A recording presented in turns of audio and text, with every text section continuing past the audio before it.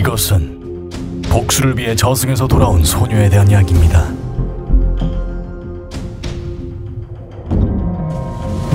소녀는 적에게 빙의해서 서로를 죽이게 할 수 있습니다.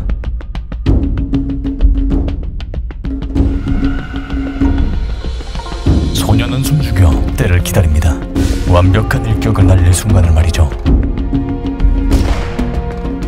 잔악한 적들에게는 사소한 실수도 용납되지 않습니다.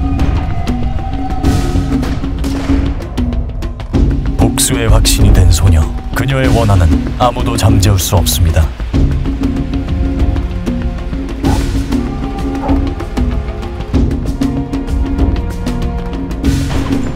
그녀는 스스로 심판하고 스스로 집행합니다.